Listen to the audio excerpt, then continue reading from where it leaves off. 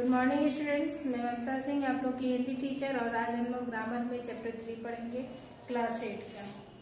वर्तनी विचार वर्तनी किसे कहते हैं?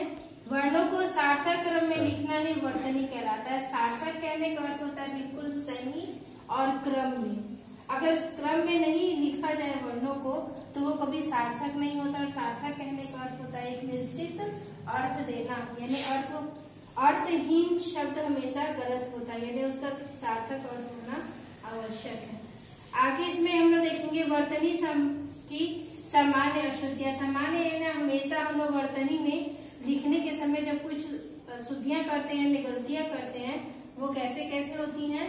तो वर्तनी में सामान्य अशुद्धियाँ पाँच प्रकार की होती है। पहला होता है स्वर संबंधी अशुद्धियाँ। देखेंगे स्वर यानी स्वर में जितनी भी मात्राएँ होती हैं उससे संबंधित मात्राओं से संबंधित अशुद्धियाँ होती हैं। आ की मात्रा का न होना जैसे जैसे कि आप लोग कोई भी शब्द लिखते हैं, अगर उसमें आ की मात्रा अगर लिखा हुआ है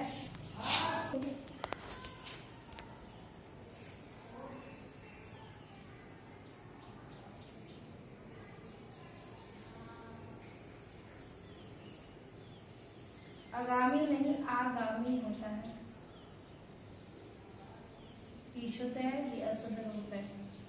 आ की मात्रा का ना होना। बहुत बार हम लोग शब्द ऐसा लिख देते हैं जिसमें अ की मात्रा को वहाँ उपस्थित नहीं होना चाहिए, लेकिन हम लोग लगाते जैसे आधीन ये गलत है, अधीन सही है। जैसे बारात गलत है, बारात सही है। ई के स्थान पर छोटी, यानी हर सही हर दीर्घ के स्थान पर हर सही का प्रयोग कर देते हैं। जैसे अतिथि, इसका रूप सही ये है। तिथि, में ये इसका रूप सही ये है। हर्षय की मात्रा का होना, जैसे अहिल्या, इसमें मात्रा का प्रयोग नहीं किया जाता। ये इसका सही रूप है, जिसे छिपकली बोलते हैं, लेकिन लिखा जाता है छिपकली। री की मात्रा की अशुद्धियाँ, जैसे दृश्य, को इस तरह से लिखा जाता है मातृभूमि में त्र के स्थान पे त्री होता है, ये सही रूप है। और कृपा इस तरह से नहीं, बल्कि इस तरह से लिखा जाता है, ये गलत रूप है इसका। और त्रिषा नहीं त्रिषा इस तरह से लिखा जाता है। दूसरा देखेंगे हम लोग, व्यंजन संबंधी अशुद्धियाँ। व्यंजन संबंधी भी बहुत सारी अशुद्धियाँ हो जाती हैं, जैसे ज्ञ और ज्ञ की सामान्य अशुद्धियाँ। ज्ञान को इस तरह नहीं, इस तरह लिखा जाता है। कृतज्ञ में आधा गौर या न होकर इस तरह से ज्ञ लिखा जाता है। पंचमाक्षर यानी प से लेकर, प से लेकर अंतिम वर्ण तक जो पंचमाक्षर में आते हैं, इससे संबंधित अशुद्धियाँ हैं, जैसे कुंडली को इस तरह नहीं, इस तरह से लिखा जाता है और पंखा को नौ को नीचे नहीं, बल्कि ऊपर बिंदु के रूप में प्रयोग किया जाता है। रेफ रेफ लगाने के लिए हमेशा हम लोग जब लिखते हैं किसी शब्द को तो मात्रा यानी रेफ की र की मात्रा किस पर लगेगी, इससे संबंधित अशुद्धि आ जाती है। जैसे आदर्श में श पर लगता है, परंतु में, परंतु लिखा जाता है। इस तरह से र की मात्रा इस तरह से और इस तरह से और इस तरह से, तीनों तरह से होती है।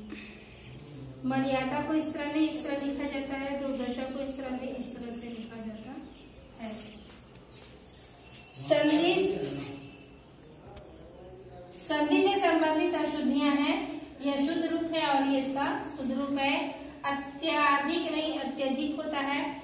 छत्र छाया नहीं, छत्र छाया होता है। निरपेक्ष नहीं, निरपेक्ष होता है। और नीरस इस तरह से नहीं, इस तरह से नीरस लिखा जाता है। समाज से संबंधित अशुद्धियाँ हैं। एक लौता नहीं, इकलौता होता है। राजा गण नहीं, राजगण होते हैं।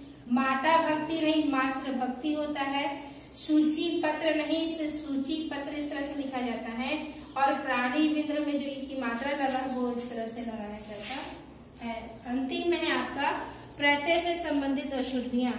प्रत्यय संबंधित अशुद्धियाँ, यानी आखिरी में जो प्रत्यय की प्रत्यय को जोड़ा जाता है, वो कहा शुद्ध रूप है और कहा अशुद्ध? जैसे सूर्यभिता नहीं, सौरभ होता है। पूजनीय नहीं, पूज्य होता है पर प्रत्यय। माननीय नहीं, माननीय होता है और महत्ता नहीं, महत्ता होता है। इस तरह से ये जो आपका चैप्टर है, वर्तनी विचार ये समाप्त हुआ। इसके पीछे जो आपका एक्सरसाइज दिया हुआ है, वो उसे आप स्वयं करें और जो क्वेश्चन आंसर दिया उसे स्वयं करें।